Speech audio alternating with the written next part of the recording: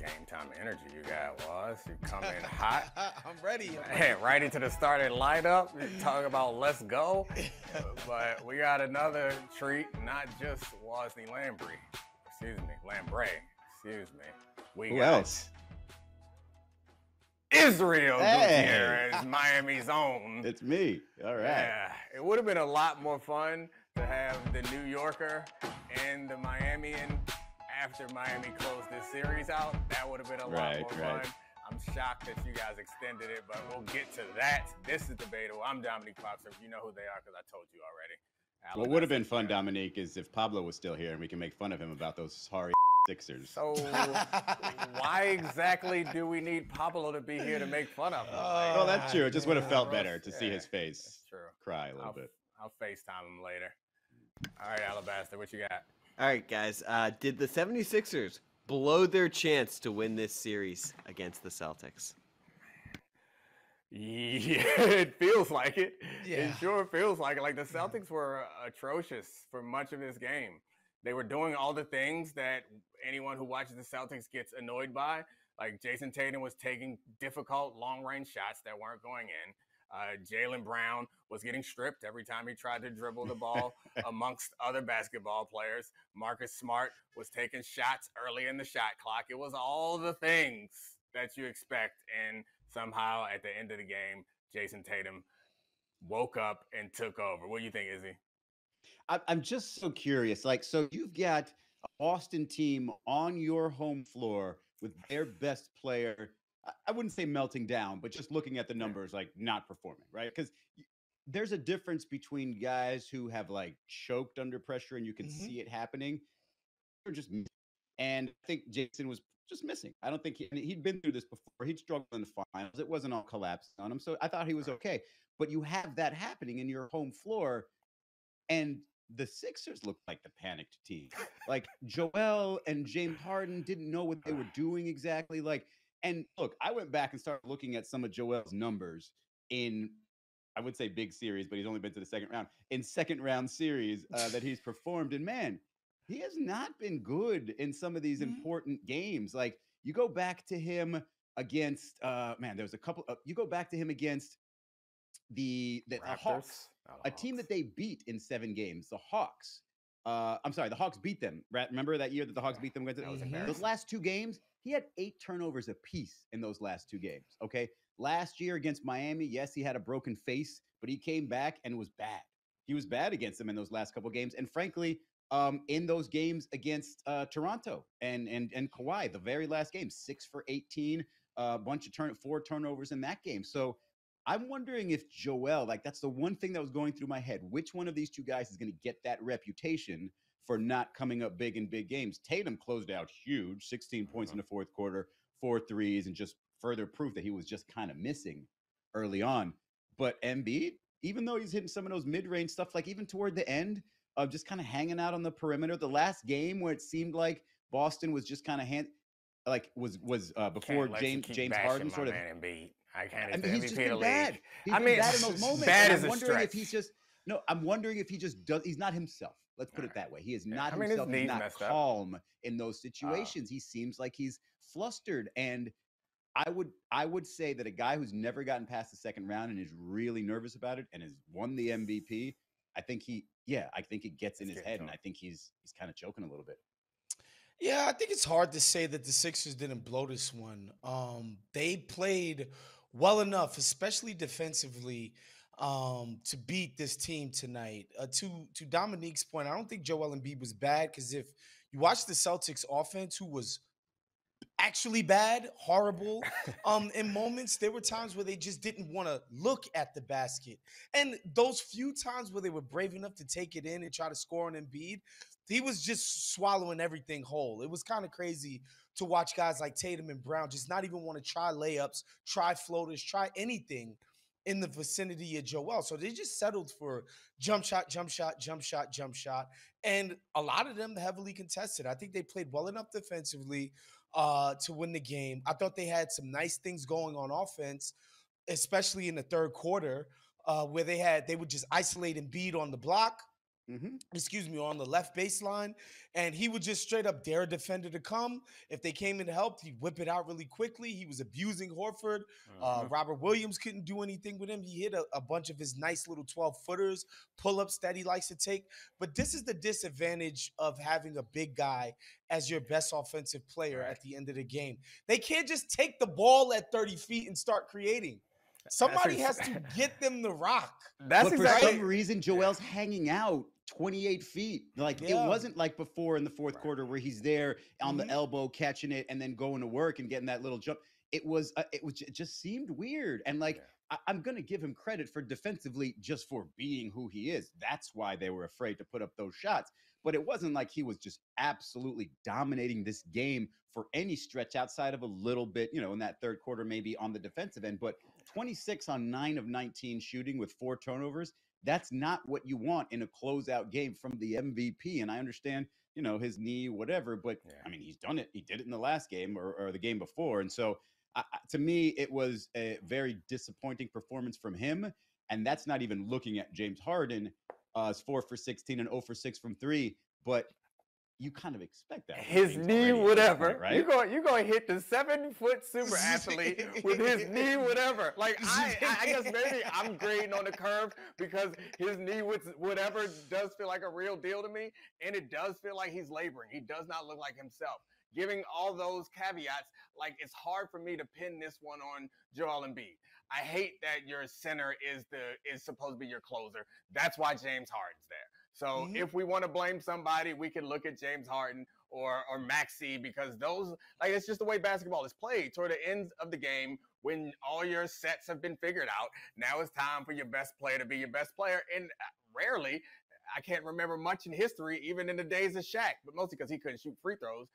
Nobody's looking at that last possession like, hey, let's get it to the big fella on the block. They're looking at the guards to make something happen. So yeah, I, I am going to have some sympathy for his knee, whatever, because he's really big and it seems like it hurts and that brace is That man had He 67 points the last two games, and he got to the line 26 times the last two games. His knee, whatever, was fine in those two games. It should have been fine enough in this game. And so, look, I, I understand everything. Like, Israel. there's just I know. he just That's- there's just something you can watch the guys play, and you know that there's just something off about them. They're they're reacting. Over, overreacting to things. They're not getting to their spots. They're panicking. It just early on in this game, you saw that from Joel. And then he got into that rhythm. He got into a little bit of rhythm. They got in the ball. It's just a little mid range. It's money every single time. It just didn't keep happening. And I don't think that's necessarily a Joel thing. It's probably more of a team thing. But if I'm Joel Embiid and I'm the MF and MVP, like I am standing on that elbow and I am demanding the ball. I don't care what the play call is. It's not going to start with me at 27 feet. It's going to start with me there. And I'm going and like you said, it doesn't have to, it doesn't have to be a play call. Just get me the ball. Do we all think they're they're done for real? No, No. it's the Boston Celtics. Come on. I mean, you can't think this team is done against the Celtics. Uh, the Celtics have not buried a single opponent in this run. It's just not the nature of this team. They just don't go out and kill people. Even the super limited Brooklyn Nets last year during their finals run, the the uh, point differential of that series was that of a seven game series, right? Like Mm-hmm. it's not like they blew the doors off the Nets um to sweep them or whatever it was uh Yeah, last year. That, that that that was that wasn't some like oh we just kicked their butts up and down the court every single game. So no, I don't think they're over. But to to Izzy's to to more Domonique's point, I understand what Izzy's saying.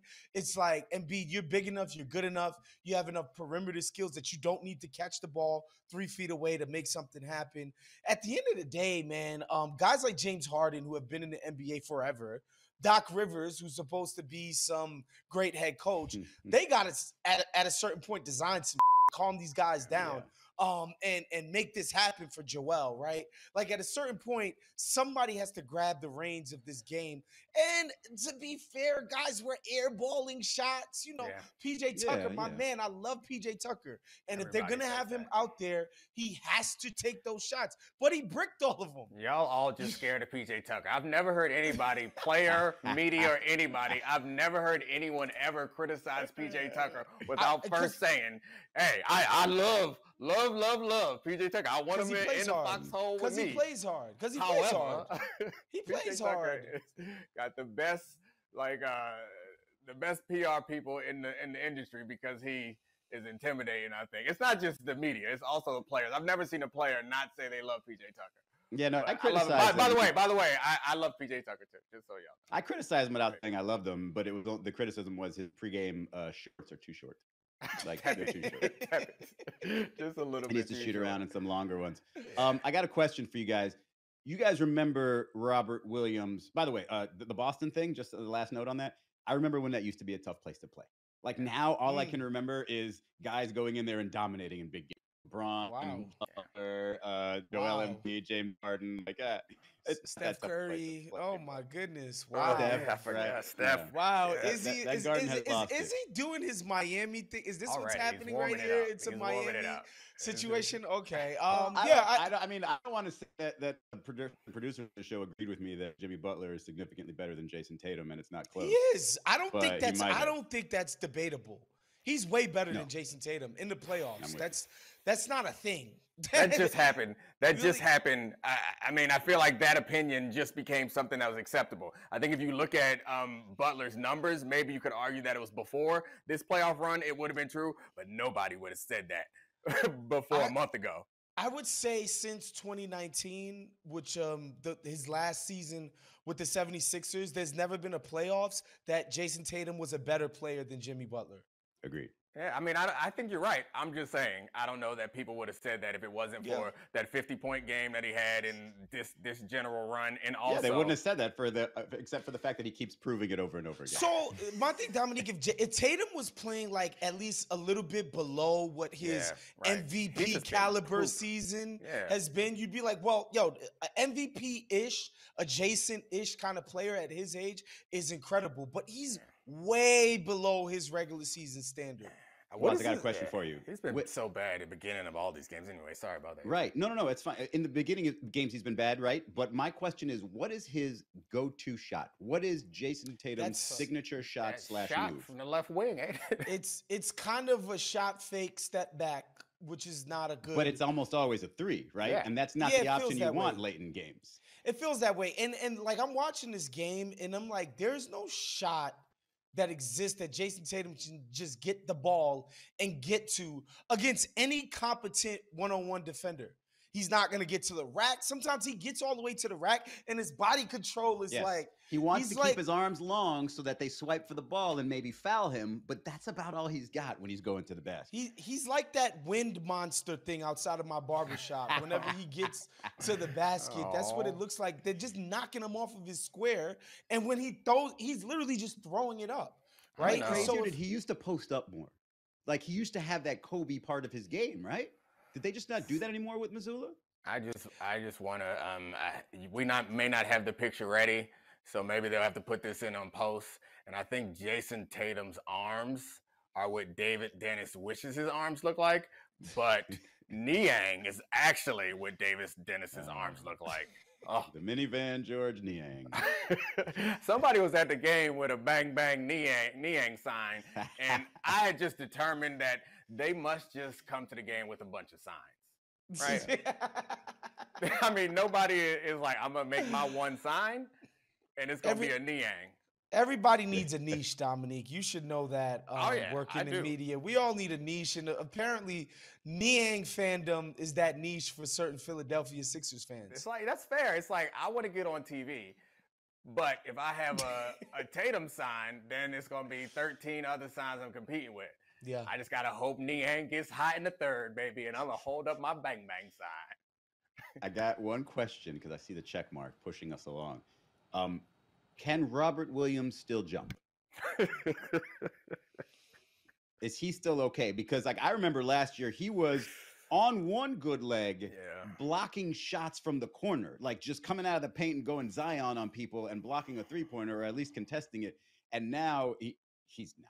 He's just not getting yeah, he like just that. doesn't feel as intimidating. Um, I thought the the the decision to insert him into the sm- starting lineup was a smart one because they Mhm. were getting smoked on defense, specifically by just simple Joel Embiid, James Harden pick and rolls. They were just getting the best shots on planet Earth in a pivotal playoff game. And so I thought it was smart to bring him in. But yeah, he he's not as imposing as he was last year. There were moments against Golden State where he was making all the difference. Um, obviously they ended up losing the series, but he hasn't been that impactful, not in this playoffs, not yet anyway. Yep. Boy, saved Joe Mazzulla's job. He'd have lost that game. Been really hard to stay in town. All right, what you got, Alabaster? All right, guys. Uh, so, out west, Andrew Wiggins has fractured rib cartilage. Anthony Davis was wheelchaired out of a game with a bump to the head that's not been ruled a concussion. So, going into game six, are you still confident that the Lakers will win this series? Hell no. Confident? Hell no. I'm not. Um, AD, it's all it comes down to. AD, any team that you talk about, if they are without their best player, then no, I'm not confident. I know that it seems like he's going to play, and I'm not here to to laugh at him for being uh, street clothes and hurt all the time. Although I'm not gonna get in the way of Chuck and, and Shaq making me giggle, but it's it's unfortunate what happened to him. It's a fluke thing, but it doesn't feel like a fluke when it's always the same guy. So like I, it's hard for me to be super confident in the version that we're gonna get. He was wobbly, and I don't know. Like I, I it didn't look like a super hard hit, but you mess with your brain, I don't know what's gonna happen. So I was very confident, and also the corgi said, "Nah." The corgi said, "We going the other direction." So I just learned about this corgi who's predicting. He's a very niche corgi. Like he's just predicting this series. That's it. I guess. That's it. and so he picked. Did he pick the Warriors for game? I, he picked the Warriors to come back in, from three to one. Wow, yep. they got him predicting the whole thing. Wow, that is yeah, yeah, yeah, yeah. He, he picked okay. the trajectory of the series, not just the winner, but like yeah, they're gonna go down three one, and the Lakers are gonna, you know, they're gonna give Steph his vengeance and let him have his three one back. But what I do want to say about the question was that still would imply that I ever felt confident that the Lakers yeah, were gonna yeah. win this series. Um, I, at the same time, I think at home, uh, I think they'll probably get a better whistle, and I think that'll make all the difference. Like how the refs call the contact in this series because the Lakers are the much bigger, more physical team. So if Golden State's not allowed to just foul them, it's going to be hard for them to guard them going downhill in the painted areas. And, you know, look, the refs are human. I, I feel like yeah. while they were in San Francisco, and the amount of hemming and hawing Warriors fans have been doing about foul discrepancy, even though they're the 30th best free throw yeah, shooting team work. in the league, is in, and the Lakers are number one. Um, and then both teams are just, you know, yeah. upholding their standard. Um, I think the refs might have got um, influenced by that. So, and in LA, I think it'll be different. I'm I'm sorry. Maybe I'm just a, a dumb basketball fan. I know what clutch minutes are, but how do you determine a clutch playoff game? What is what is the definition of that, or is that just a stat that we made up? I, I under mean, five points with under oh, five games minutes left. that go into oh, the clutch oh, got you, got you, got you. I thought we were we were projecting that this was a clutch game, and I'm just stuck. Like, all right, so what defines a clutch game? Is it just the odd games? Game? One, three, five, and seven. Those are the clutch ones. Domonique, I feel you because we all got PTSD from the clutch gene era. I like oh, we're man. all still reeling from the, uh, the stupidity oh, and Mm. ridiculousness that was the questioning of LeBron James oh, playoff gosh, medal. ridiculous.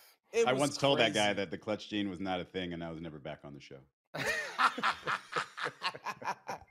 Poor career decision on your part, Izzy. I shouldn't have done it live. There. Don't you steer us back to the topic. Let us meander. Well, well didn't we just do a whole topic about how Joel Embiid doesn't have the clutch gene? that's exactly. We just, we just did it without saying clutch gene. So see, I would never say Joel Embiid doesn't have the clutch gene. I would I just say PTSD. that this. I think that there's something about playoff defenses in the half court that make him way less effective than he is in the regular season. I don't think that he's necessarily playing less than what his standard is. I think the standard in the playoffs on offense are much higher. It's just way harder to score. I think when you see guys like, say, I don't know, a Nikola Jokic in the playoffs score against any defense, no matter mm-hmm. what, I think that says something about his offensive game and the way mm-hmm. that it translates and travels. I, I just don't think Joel's, as an offensive player, specifically, I don't think he can be as dominant as he is um, in the regular season I'm in the gonna need playoffs. I'm gonna need you to stop because you're trying to get us all fired right now.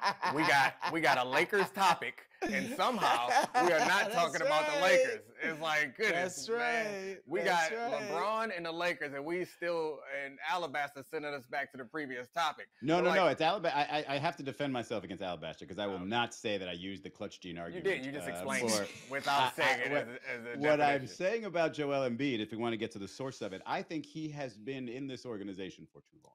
I think he has been failed over and over again, and I think his teammates have failed him over and over again to where he gets to the point where he's just like, if I don't do all this by myself, we're not going to win. So get me the damn ball, and he starts Ah. freaking out. That's I mean, fair. it's it's not it's not clutch gene. It's just he's just try, I'm, I guess trying to do too much, but really it's just he's been failed and he just wants to do it all himself. I hate my to I hate to to tell you this right now, Izzy, but Alabaster edits the show, so that, Mm. he just he just gonna have you out there looking like you said the clutch gene was a thing. So I, Okay. to answer the the Lakers question, I was extremely confident that the Lakers are going to win this series when they were up three one. And it only took one game, one chop to the face for me to hmm. lose all my confidence because at that point I was like, I'm watching these games. I do not see a way that they can win, that the Warriors can win three in a row. But then I was like, yeah, they won, they won one game.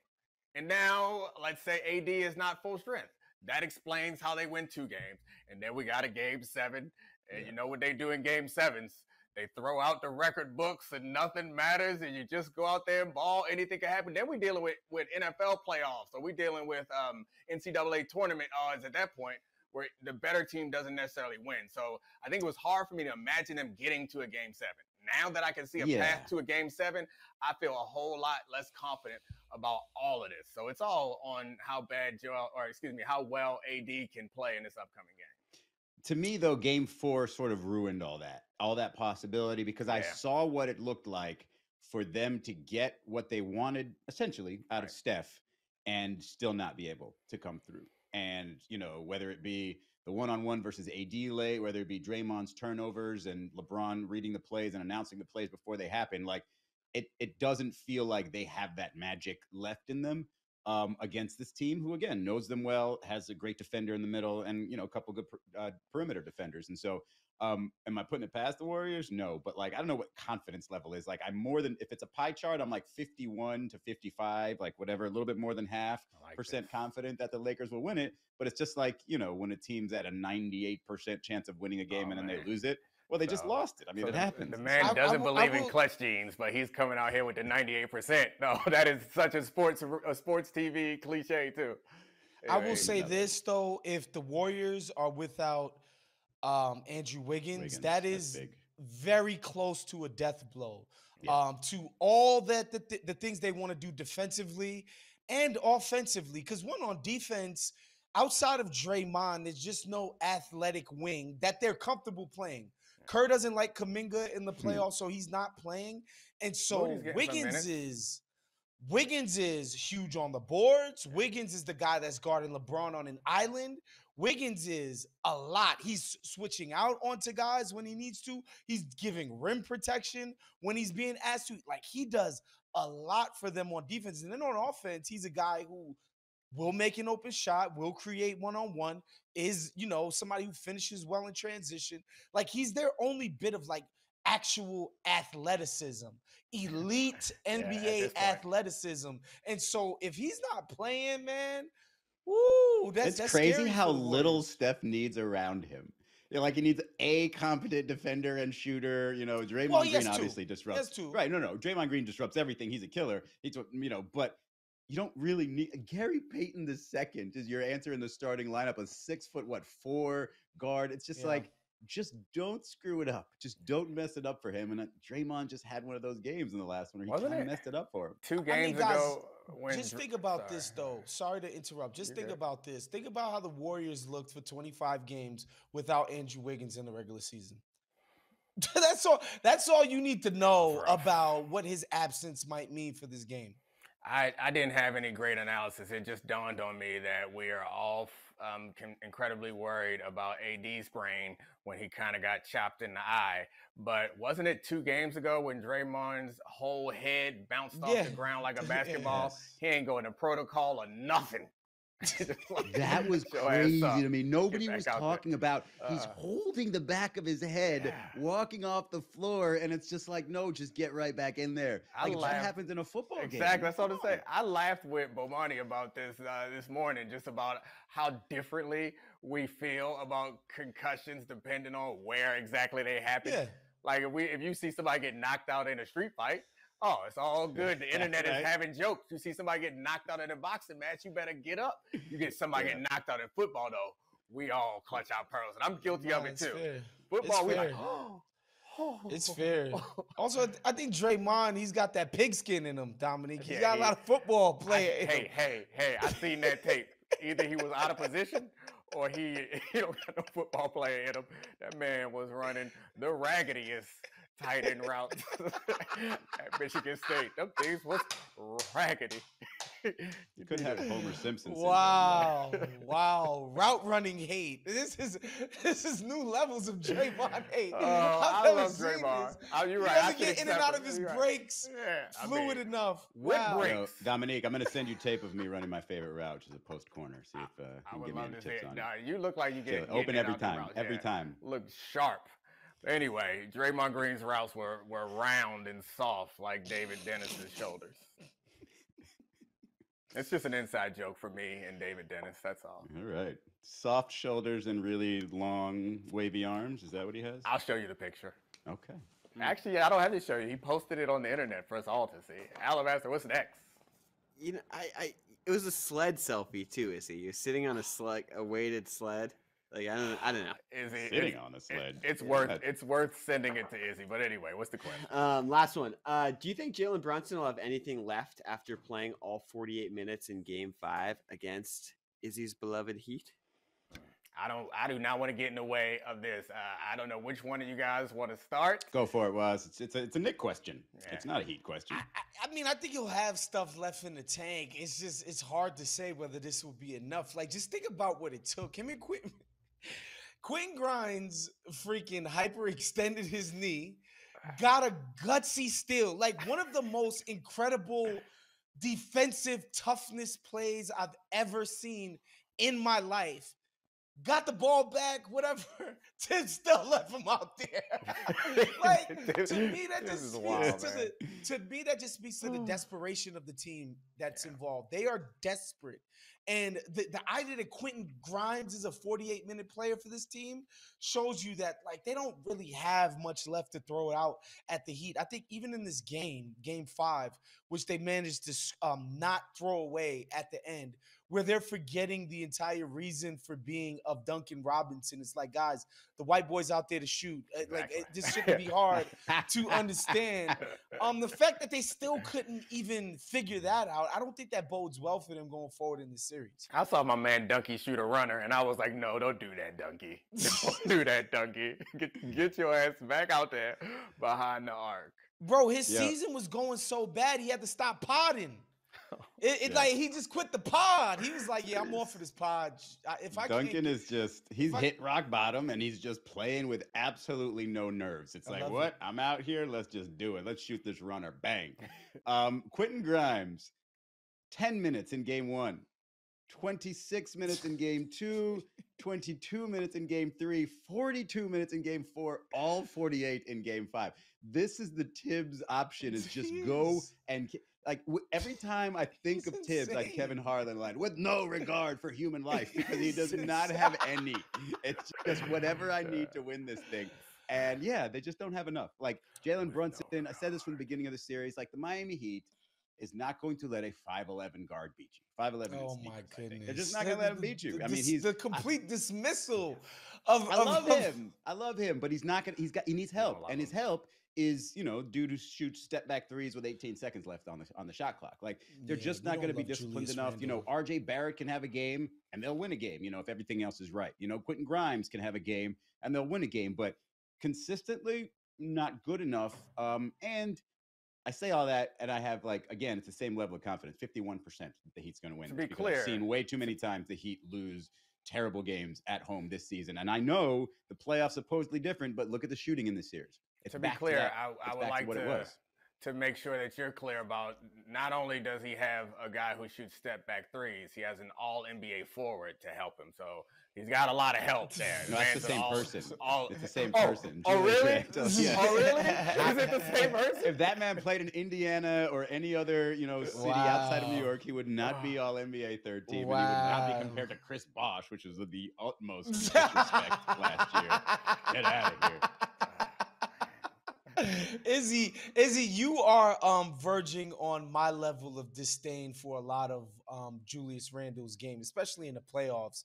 But eh, you know, he's what they have though, right? Mhm. They can't play Obi Toppin 40 minutes at the forward. It's just untenable defensively. And again, another guy, Defensively, how about offensively? Whew, another guy, open. Domonique, who I love, right? I'm an Obi Toppin fan. Love, love him. I love him. Like a brother. Obi Toppin However, you. Man, but yeah, defensively, he's just not uh. in. You know, he's not an offensive hub either. I gotta say, I'm a little surprised that you two, one from New York and one from Miami, neither of you is, is, has any confidence in either of the teams from the places where you reside or used to reside. Can we get this and- straight and for a second, home. Domonique? Yes, I am not. I mean, this is no offense to my man. I am not Parakeet Cortez. Like Oh, yeah. I am an established journalist for Right. 23 years in the business, who happens to live in the city where one of the greatest NBA teams play. That does not make me a major homer. I just spit the truth oh, and Okay. happen to give it a little bit more attention if it needs it. But it's not homerism, okay? To say Bam Gotcha. Adebayo has been sort of I, look. I, I think he's been he's been slandered, and I think people need to take that back with Bam. I, the idea that you want to trade him for anybody that can score. It's just mind-boggling because you don't really understand that it's not always greener on the other side when you've got a guy who is willing to do everything for you, everything for you on the defensive end, and he's not even a great rebounder. Look what he's done these last couple games, just working his off to get these boards because that's what they need from him. I think he's been getting a lot of crap lately, and people need to apologize to Bam Adebayo when he gets to the conference finals. uh, on behalf of people, I'm sorry, Bam. You deserve more love, I guess. Coming from an objective score. journalist who is not a homer whatsoever. exactly. So, I mean, this is the. It feels like we all agree that this. I was expecting that one of you would say that this was a series of consequence. Um, that there's a chance. I, I, every time I want to like write both these teams off, I then look at the fact that the winner of this is going to have to play the Celtics or the 76ers. And to be fair, I don't have any confidence in those teams either. They just have You- better you players. can't. I have a ton Yeah. of confidence in Miami Heat game planning against anybody, but I have confidence in them game planning against Joel Embiid. And yeah, I do think that everything is happening the way it's supposed to because the Miami Heat tomorrow after the game against the Knicks will be the first team to make it to the conference finals, as it should be. All right, I'm, this is he's killing me. I, I, I Objectivity will, here. I will say this. Um, I, I, I'm I have a bias in the sense that I thought the Knicks were going to lose in five games the last round. I never really had a huge confidence in this group. I, I think they've been playing above their heads this entire postseason, to be honest, and that they've even forced this to go to a game six. Um, just want to repeat a stat that I saw that since Thibs um, became a coach, there have been six NBA series where the team with home court lost in five games. Thibs has lost three of those. Wow. Okay, he's authored He three and of those. Rivers and have damn some very special it playoff damn near turned the four, where the team with home court advantage lost in five games. But you know, I think they'll come out and they'll play hard and they'll give it a go. But they're just so much worse than the Heat to me So we got um, spe- specifically in half court offense, and so I don't think they they got much to to, to offer mind blowing going to me forward. because normally the more talented the team in the NBA is better, and I don't think that we look at Miami as like a uber talented team, but I do think that Miami is much better. So we all got Miami advancing Mm-hmm. at the nearest opportunity. I have a Thibs question. Um, He's got No, to he be- does not have any regard for human life or their knee cartilage. Well, what's the deal with the hair? Because he's got to use more gel, like per 36 strands of hair, than anybody else in the league. Like that's a lot of gel to keep. Like, is it float? Does it move that much if he doesn't plaster that thing down? Or I'm sorry, those you know few strands down, or what? Yeah, he might need to go to Istanbul. I got a couple of homies that told that me in Turkey? Turkey they've sort of yeah figured out. perfected the hair replacement joint. Thibs, he's rich enough. He he should probably just sp- go spend a couple weeks in Turkey. I heard it's beautiful. I've never been to Istanbul, but I heard it's a great time. So he needs to go down there and, and, and get that hair Thibs in. Turkey. Yeah, Let's get it I. I would not suggest anybody go to Turkey. I've seen them transplant videos too, and I've heard Turkey is beautiful also. But uh, that's where Erdogan is, right? Yes, sir. Yeah, he be I wildin'. mean, He you know, be wildin'. He he hasn't gone Enes Kanter. Thibs hasn't. He's good. I think he's straight. I don't think they they put a fatwa on him yet. Yeah. He's got to go. He's just got to say a few bad things about Enes Kanter. He'll be in and out. He'll be fine. What's up, Alabaster? So Izzy, are we saying Heat and six against either the Celtics or the 76ers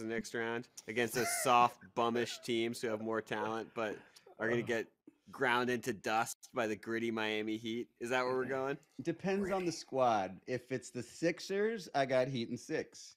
If it's the Celtics, I got Heat and seven. Jimmy's gonna go hit that big three on their floor. Oh, To win. nice. Lots of fun. Yeah, I think they beat the Sixers um, for sure. I, I just have no no faith in James Harden, who I've nicknamed the Redeemer, because every time I diss him, he has a great game, but then he ends he follows it up with two more terrible games, thereby redeeming my take. Um, I think he's I think he's way better. I think they're gonna be they're way better equipped to deal with um, Philadelphia. The Celtics, I think, will beat them eventually in a long, drawn out, sloppily played at times series. I think the Celtics will inevitably get back to the NBA Finals. Uh, Tyler Herro might be back in the conference finals, though. I'm just hearing some things late in mean, the conference who- finals. Is that- in is that gonna the help you know, them? Is that- I is that a good a big, thing? in the bubble. He did well against the Celtics. So just saying, Yo, you this know. guy he kinda Izzy, owns Marcus Smart a little bit. Izzy, man. Izzy got a lot of Mike Ryan in him, man. I'm telling you, boy. This is gosh. Crazy. I have to. I have to play this part when I come on the show because it's been, you know, it's, It's just been sort of made for me, and I'm prepared for it. I'm equipped. Well, well, you. thank you. Thank you for being a key character on this midday soap opera that we call Debatable. You are the star of today's episode, Izzy. I Midday. It appreciate is it. 10:52 p.m. I am No, it's tired not. as it's, hell. it's noon. It's noon, and we might need you to stay up depending on how this other game goes, so we can record something about that and tap it on, tag it onto the front. Somebody got to stay up with me. Somebody got to stay with me. Alabaster? Anybody?